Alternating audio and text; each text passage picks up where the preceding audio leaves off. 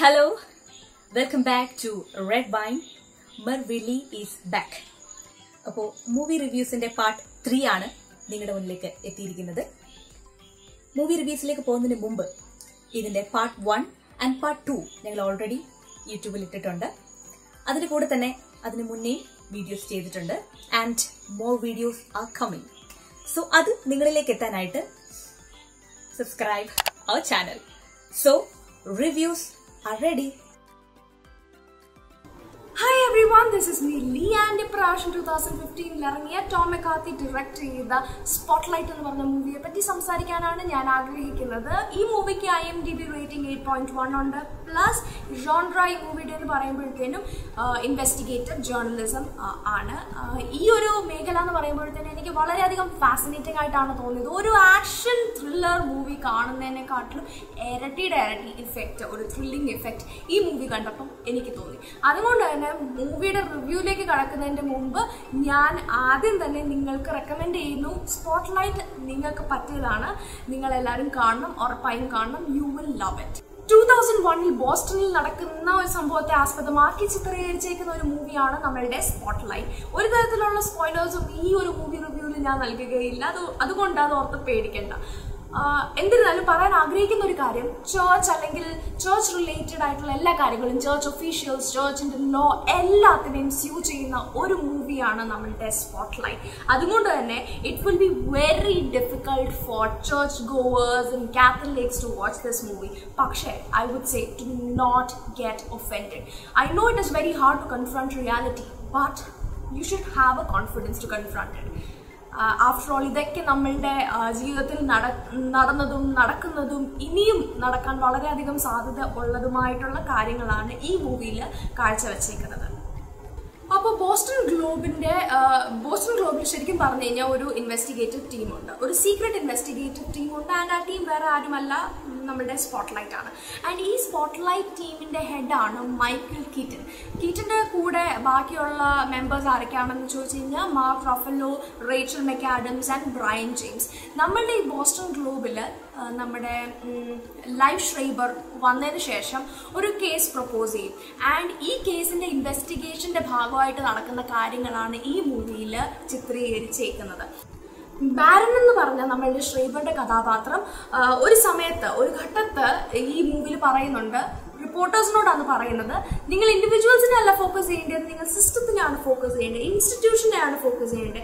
And ഇത് നമ്മളുടെ റിപ്പോർട്ടേഴ്സിന് ചൂട് കയറ്റും ആൻഡ് ഇവർ അത് കഴിഞ്ഞിട്ട് ഇൻവെസ്റ്റിഗേറ്റ് ചെയ്യാനായിട്ട്. ശരിക്കുമുള്ള ഇൻവെസ്റ്റിഗേഷൻ തുടങ്ങും. രാവും പകലൊന്നും ഇല്ല അവർ കഷ്ടപ്പെടുന്നത് നമ്മൾ നമ്മുടെ ശരിക്കും റിയൽ ലൈഫിൽ ഒരു റിപ്പോർട്ടർ എങ്ങനെയാണോ കഷ്ടപ്പെടുന്നത് അത് മാത്രമേ നമുക്ക് ഈ മൂവിലും കാണാൻ പറ്റത്തുള്ളൂ.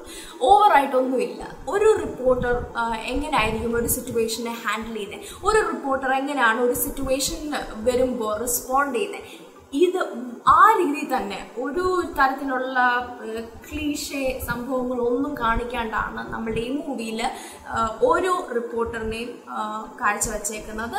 വളരെ നല്ല രീതിയിലുള്ള ആക്ടിങ് ആക്ടിങ് എന്ന് പറയരുത് ശരിക്കും പറഞ്ഞു പക്ഷെ വളരെ നല്ല രീതിയിലാണ് അത് ചിത്രീകരിച്ചേക്കുന്നത്. ഒരു ബോൾഡ് ആൻഡ് യുണീക്ക് ആയിട്ടുള്ള മൂവി തന്നെയാണ് സ്പോട്ട്ലൈറ്റ് ഈ ഒരു കാഴ്ചപ്പാട് തന്നെ ആയിരിക്കും മൂവി കണ്ടതിന് ശേഷം നിങ്ങൾക്കും തോന്നുക എന്നതിൽ എനിക്ക് വളരെ വലിയൊരു വിശ്വാസമുണ്ട്. ഒരു റോളർ കോസ്റ്റർ റൈഡിൽ ഇരിക്കുന്ന പോലത്തെ ഒരു ഫീൽ ആയിരുന്നു ടുവേഴ്സ് ദി എൻഡ് എനിക്ക് അനുഭവപ്പെട്ടത്. ഞാനൊക്കെ ആണെങ്കിൽ ഫിംഗേഴ്സ് ക്രോസ് ചെയ്തിരുന്നു ട്വിസ്റ്റ് ഉണ്ടാവില്ലേ ട്വിസ്റ്റ് ഉണ്ടാവില്ലേ ഉണ്ടാവല്ലേ എന്നിരുന്നായിരുന്നു പ്രാർത്ഥിച്ചുകൊണ്ടിരുന്നത് പക്ഷേ ട്വിസ്റ്റ് ഉണ്ടാവുമോ എന്ന് ചോദിച്ചു കഴിഞ്ഞാൽ അറിയില്ല. അത് നിങ്ങൾ കണ്ട് ആസ്വദിക്കുക. അല്ലെങ്കിൽ പിന്നെ സ്പോയിലറായി അതായി ഇതായി എന്നൊക്കെ പറയും. സോ നിങ്ങൾക്ക് എന്തായാലും ഇഷ്ടപ്പെടും? Spotlight So, the last movie, 2014 മൂവിയാണ് Maleficent, directed by Robert Sternberg. Genre, fantasy plus adventure. IMDb rating 7 out of 10. ഈ മൂവി നമ്മൾ കാണുമ്പോൾ ഒരു ഫെയറി ടെയിൽ കാണുന്ന പോലെയൊക്കെ നമുക്ക് തോന്നും ഇതിന്റെ central character Maleficent as the name indicates evil അല്ലെങ്കിൽ ഒരു ഫോൾസ് ക്യാരക്ടർ എന്നൊക്കെ നമുക്ക് ആ വേർഡിലൂടെ നമുക്ക് തോന്നും but what exactly is Maleficent the character was a good one and some issues happened in a life അതാണ് ആ ക്യാരക്ടറിനെ ഈവിളാക്കി മാറ്റുന്നത്. ആൻഡ് മാലഫിസന്റ് ഒരു ഫെയറിയാണ് with lots of magical powers with strong wings and power to do anything and she had a lover named Stefan അദ്ദേഹം അവരെ ചതിക്കുകയാണ്. അതിലൂടെയാണ് issues സിനിമയിൽ ഉണ്ടാവുന്നത് അതിലൂടെയാണ് ഫിലിം മുന്നോട്ട് പോകുന്നത്. And Maleficent is played by famous actress Angelina Jolie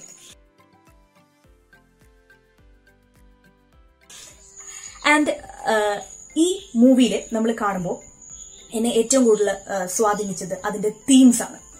main theme എന്ന് പറയുമ്പോൾ it's female oriented movie female domination ആണ് കാണിക്കുന്നത്. Yes the power of female അത് നമ്മുടെ സെൻട്രൽ ക്യാരക്ടർ മാലഫിസന്റ് ആണല്ലോ. അതൊരു ഫീമെയിൽ ആണ്. അതുകൊണ്ട് തന്നെ അവരുടെ പവർ കാണിക്കുന്നതിലൂടെ ഫീമെയിൽ ഡോമിനേറ്റഡ് മൂവി അതായത് അവർക്ക് എന്തും ചെയ്യാൻ കഴിയും എന്നൊക്കെയുള്ള ഒരു ഒരു ആണ് ഡയറക്ടർ നമ്മുടെ മുന്നിലേക്ക് എത്തിക്കുന്നത്. ആൻഡ് ദെൻ അനദർ തീം പറയുവാണെങ്കിൽ it's the conflict between nature and man Maleficent is the representative of nature and Stefan the representative of human being what happens when human being try to control nature മനുഷ്യൻ പ്രകൃതിയെ control ചെയ്യുമ്പോൾ പ്രകൃതിയുടെ മേൽ ആധിപത്യം സ്ഥാപിക്കാൻ നോക്കുമ്പോൾ എങ്ങനെ നേച്ചർ റിയാക്ട് ചെയ്യും നേച്ചർ എങ്ങനെ ശക്തമായി പ്രതികരിക്കും എന്നാണ് ഈ സിനിമയിൽ കാണിക്കുന്നത്. അത് നമുക്ക് കാണാൻ സാധിക്കുന്നുണ്ടല്ലോ. കൂടുതൽ എക്സ്പ്ലെയിൻ ചെയ്യേണ്ട. And another character also appears in this film one of the important characters and that's Aurora അറോറയുടെ വരവിലൂടെയാണ് നമ്മുടെ മാലഫേസിന്റെ ലൈഫിൽ മറ്റൊരു ചേഞ്ച് ഉണ്ടാകുന്നത്. അപ്പോൾ ഈ മൂവി കാണുമ്പോൾ നമുക്ക് വളരെ നല്ലൊരു പെർഗേഷൻ ആണ് ഉണ്ടാവുന്നത്. നമുക്ക് തന്നെ തോന്നും ഈശ്വര നേച്ചറിലുള്ള വളരെ നല്ല വസ്തുക്കൾ നേച്ചറിന്റെ ബ്യൂട്ടി നേച്ചറിന്റെ പവർ ഇതൊക്കെ നമുക്ക് മനസ്സിലാവും ഈ മൂവിയിലൂടെ and this film part two which was released in two thousand nineteen so അതിനെപ്പറ്റി ഒന്നും പറയുന്നില്ല. ഫസ്റ്റ് കണ്ടാൽ ഉറപ്പായിട്ടും സെക്കൻഡ് കാണും. Okay so what's the movie if you get time take care be safe ഇതോടുകൂടി ഞങ്ങളുടെ മൂവി റിവ്യൂസിന്റെ മൂന്ന് പാർട്സും കഴിഞ്ഞിരിക്കുകയാണ്. ഞങ്ങൾ ഇൻ ടോട്ടൽ സിക്സ് മൂവീസിന്റെ റിവ്യൂസ് നൽകി. നിങ്ങൾക്ക് ഇഷ്ടപ്പെട്ടു എന്ന് തന്നെ കരുതുന്നു. ഇഷ്ടപ്പെടാത്തവരും കാണുമായിരിക്കും. പക്ഷെ ഞങ്ങൾക്ക് അറിയാവുന്ന രീതിയിൽ ഞങ്ങൾ അവതരിപ്പിച്ചിട്ടുണ്ട്. ഇനിയും ഞങ്ങളെ സപ്പോർട്ട് ചെയ്യുക ഇനിയും ഞങ്ങളെ സ്നേഹിക്കുക. ഞങ്ങൾക്ക് എന്താ ഞങ്ങൾക്ക് എന്തെങ്കിലും സജഷൻസ് നൽകാൻ നിങ്ങൾക്ക് ഉണ്ടെങ്കിൽ പ്ലീസ് അതൊക്കെ കോമെന്റ് ചെയ്യുക.